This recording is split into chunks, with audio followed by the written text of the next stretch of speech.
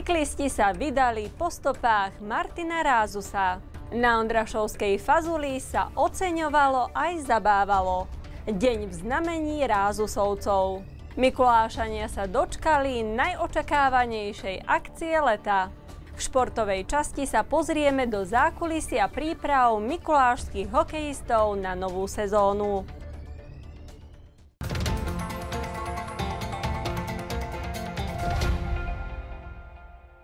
Milí diváci, v redakcii Spravodajstva sme radi, že ste s nami. Aj počas leta sme pre vás pripravili vašu obľúbenú spravodajskú reláciu. Vitajte pri televíznych obrazovkách.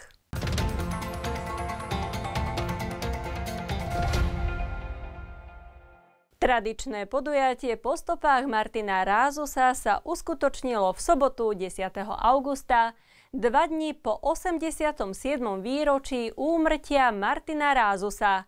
Vychutnajte si s nami atmosféru tejto trasy. Cykloturistický maratón po stopách Martina Rázusa napísal už 23. ročník. Pred rodným domom súrodencov Rázusovcov vo Vrbici ho odštartoval viceprimátor Rudolf Urbanovič. Ja sa veľmi teším, že prišlo na 23.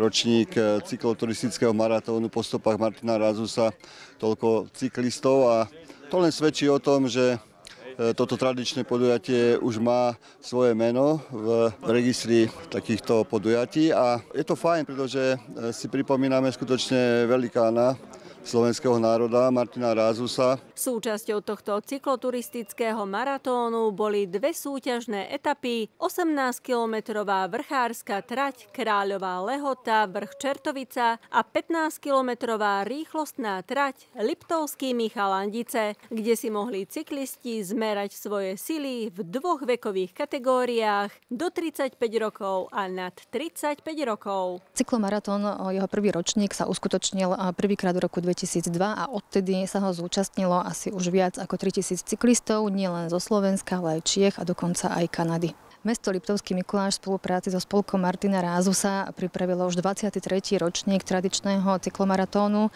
po stopách Martina Rázusa a o počte asi 120 cyklistov. Pretekári mali pripravenú trasu cez Brezno, kde sa zastavili pri pomníku Martina Rázusa do Banskej Bystrice, aby položili veniec pri hrobe Martina Rázusa a vrátili sa späť do Liptovského Mikuláša. Je to veľmi pre nás taká významná udalosť tu v Brezne, aj z toho športového pohľadu a hľadiska, lebo doplňa to celú tú škálu rôznych športových aktivít, ktoré sa tu v Brezne konajú, ale zároveň aj z takého kultúrneho hľadiska, keď sme radi, aj ja ako breznianský farár, že odkaz Martina Rázusa, jedného z môjho predchodcov, je stále živý a že ľuďom prejavujú záujem. Takže veľmi sa z toho tešíme a je to pre nás vždy vždy česť privítať cyklistov z celého Slovenska a možno aj zo zahraničia tu medzi nami. Nejde o víťazstvo, ide o účasť. A tak to bolo aj počas tohto ročníka.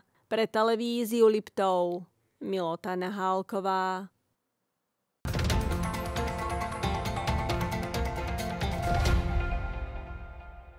Ondrašovská fazuľa sa stala obľúbeným podujatím v našom meste. Program jeho 8. ročníka potrval až do neskorého večera.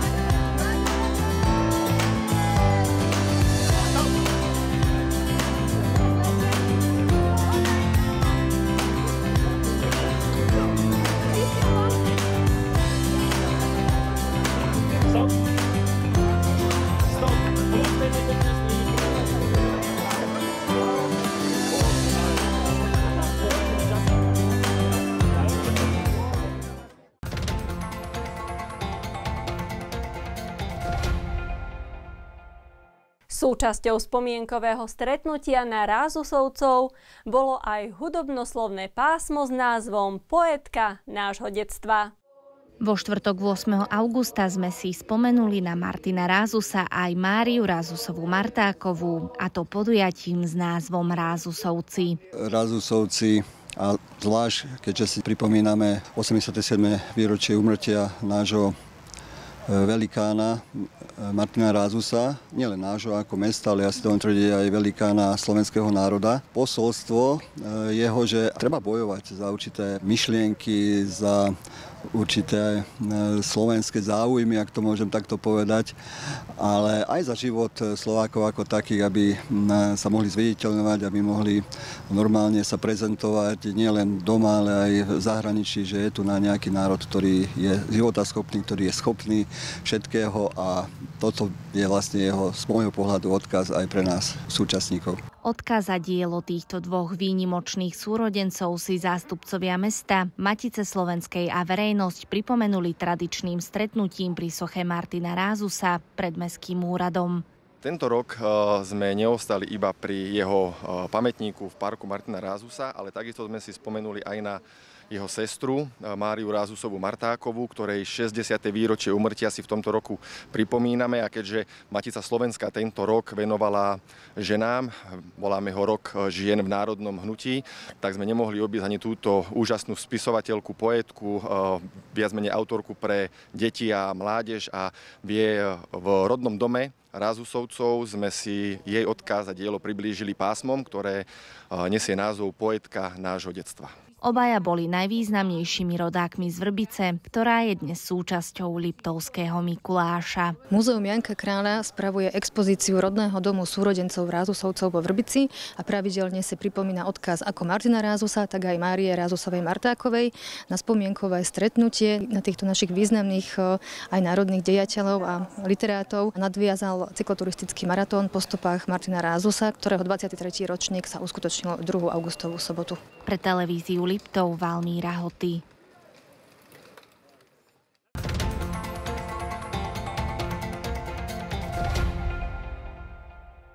V miestnych podnikoch to vrelo. Obľúbená Street Music Night ovládla centrum nášho mesta.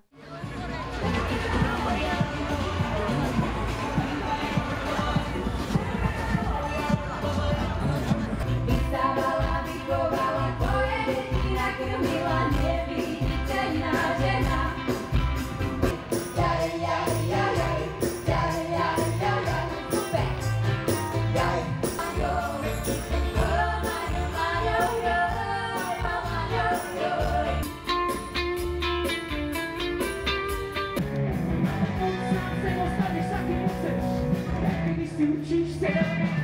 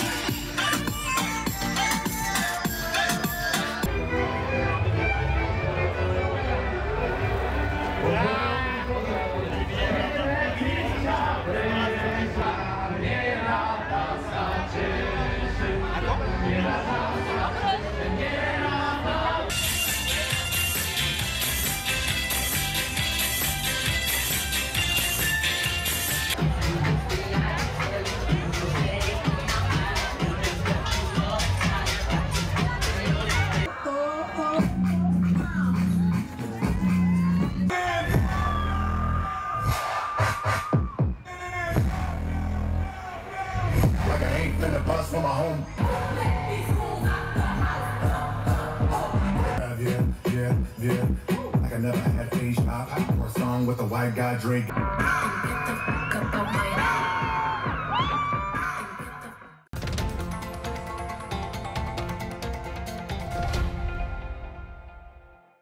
Keď sa zistí nejaký vrak na verejnom priestranstve, to znamená na mestskom pozemku, tak e, mestská policia zadokumentuje, zistí vlastníka vraku a odstúpi to potom nám na odbor dopravy s tým, že my už potom riešime tú agendu e, tým spôsobom, že vyzmeme vlastníka toho vozidla, respektíve toho autovraku, aby si ho odstránil do 30 dní. V prípade, ak tak nespraví, tak mu bude vyrúbená daň za užívanie verejného priestranstva vo výške 432 eur za mesiac. A väčšinou toto porozenie touto daňou situáciu vyrieši a vlastný vozidla si vozidlo odstráni a zlikviduje tak, ako je jeho povinnosť vyplývajúca do zákona. Sú aj prípady, kedy sa tak nestane a vtedy sa pristúpi k teda vyrúbeniu tej dane a následne sa koná o veci vyradenia vozidla z evidencie, a jeho potom likvidovaniu ako nebezpečného odpadu. Podnety chodia od samotných obyvateľov, takisto samozrejme aj od kontrolnej činnosti, či už nás alebo mestskej policie, ale gro je to od obyvateľov, keď nám oznámia. Oznámiť to môžu telefonicky na mestský úrad, prípadne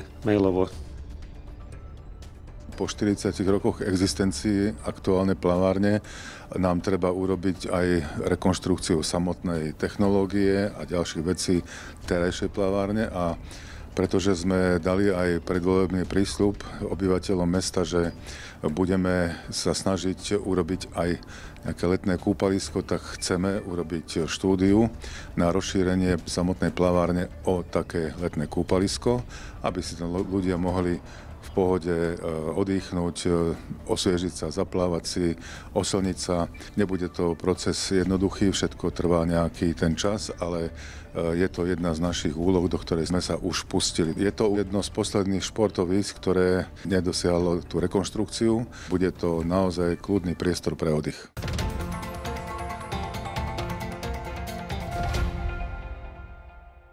Športovej časti sa pozrieme, ako sa pripravujú mikulášskí hokejisti na novú sezónu. HK32 Liptovský Mikuláš začal pod vedením hlavného trénera Juraja Fajta, asistenta Marisa Jasa a trénera brankárov Františka Kučeru predsezónnu prípravu na suchu aj na ľade. Budeme klásť dôraz na, na ten objem e, veľa korčulovania. Máme ten svoj program, kde aj ráno budeme v deň zápasu tvrdo trénovať, takže Takže ale myslím si, že nie, nie je to nič nové, je to, je to klasika prípravného obdobia.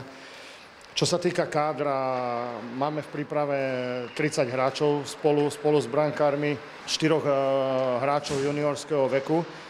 Takže, takže uvidíme, ten, ten káder sa samozrejme bude ešte, bude ešte stenčovať, lebo je to veľa hráčov uh, do ligy, no ale uvidíme až samotné tie prípravné zápasy a tréningy, čo nám ukážu. Mikulášskí hokejisti majú naplánovanú sériu prípravných zápasov pred sezónou 2024-2025. V septembri nás čaká Tatranský pohár hneď prvý víkend a, a pred sezónou by sme to mali ukončiť 13. doma takou generálkou proti Humenému. Pre televíziu Liptov Milota Nahálková.